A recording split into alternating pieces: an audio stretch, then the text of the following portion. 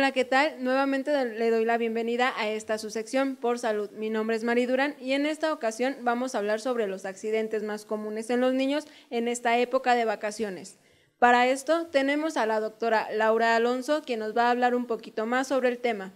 Se dice que en el periodo vacacional se incrementa un 30% el número de accidentes. ¿Qué tan cierto es esto? Eh, bueno, primero que nada, eh, es un honor tenerlos aquí en, eh, en, esta, en esta ocasión.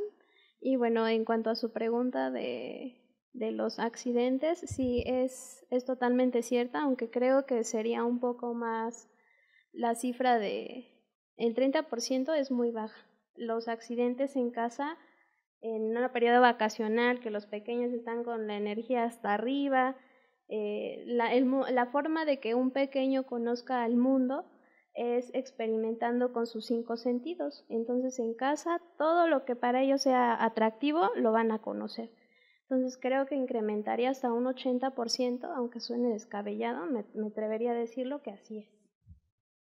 Ok, y según su experiencia, ¿qué accidentes son los más comunes que presentan los niños? Los accidentes más comunes en casa son las quemaduras, los traumatismos, estos hablamos en cabeza, fracturas, lesiones, eh, cortaduras, asfixia, ahogamiento, entre otros. ¿Qué recomienda a los padres de familia cuando su hijo se ha golpeado la cabeza? ¿Cómo saber si este golpe ha sido de gravedad? Bueno, eh, primero que nada, cualquier pequeño que ha sufrido una, un golpe en la cabeza tiene que ser valorado por un médico. Eh, los pequeños menores de 5 años tienen una, el peso corporal es un poquito aumentado en la cabeza. Por esta razón, este, tiende a ser más frecuente los golpes en la cabeza en niños menores de 5 años, dado que su sistema neurológico no está eh, aún totalmente desarrollado, puede haber cierta confusión. En mi recomendación sería llevarlo a un servicio de consulta médica si es que solamente se ha golpeado si el pequeño empieza a presentar vómitos, mareos, somnolencia, eh, eso quiere decir que nosotros lo veamos como que tiene sueño, pero no está cansado, eh, o que no responde o que convulsiona, hay que llevarlo inmediatamente a un servicio de urgencias pediatría. ¿Qué actividades cree convenientes para que el niño practique sin que éste represente un riesgo para, para sí mismo? Bueno, las actividades que pudieran eh, practicar los pequeños en esta temporada vacacional pudiera ser natación. Aparte de, que pudiera prevenir un accidente, si en dado caso nosotros viajamos a algún balneario y el niño, esperemos que no, llegara a caer a una alberca, él va a saber cómo nadar, cómo elevarse y prevenir un ahogamiento. Aparte de que da una buena condición física, ejercita los músculos y nos da una adecuada coordinación y esta puede servirnos para muchas actividades, desarrollo neurológico, etc. ¿Y qué medidas preventivas deben eh, acatar los padres o deben aplicar los padres para evitar este tipo de accidentes? Primero que nada, tener una adecuada comunicación con los niños.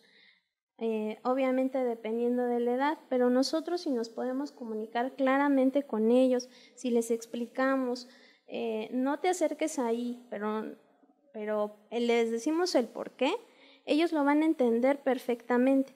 Otro punto importante es que los medicamentos, porque también las intoxicaciones son una, una situación que, que se presenta mucho en esta época, intoxicaciones y envenenamientos, tenerlos resguardados, este, eh, tener resguardado esa, esa situación eh, no dejar a los niños solos, eso es una, una clave importantísima.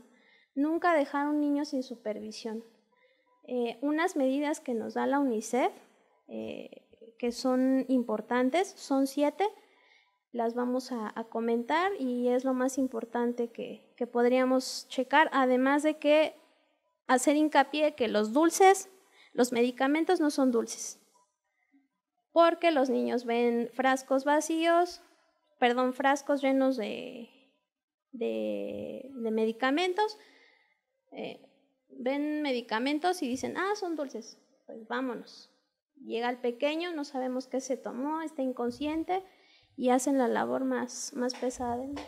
Bueno, el mensaje fundamental número uno de la UNICEF es que muchas lesiones graves pueden evitarse si los padres o personas encargadas de la atención vigilan con cuidado a los niños de corta edad.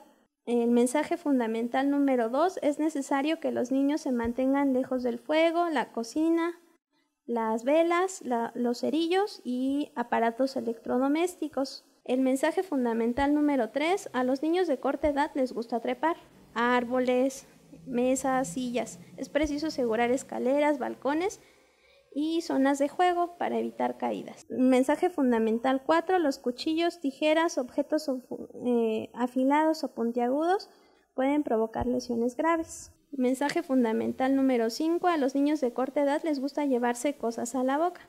Por eso siempre se deben de mantener fuera de su alcance. Mensaje fundamental número 6. Nunca se deben almacenar venenos eh, en botellas de bebidas. El mensaje fundamental número 7, un niño puede ahogarse en menos de dos minutos y en una pequeña cantidad de agua. Nunca se deben de dejar solos cuando se encuentran cerca del agua.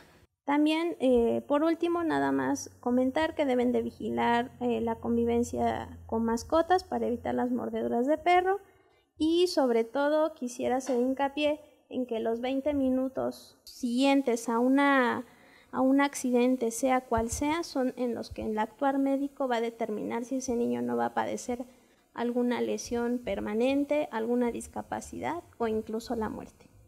Muchas gracias, doctora Laura Alonso, por habernos hecho un espacio en su agenda.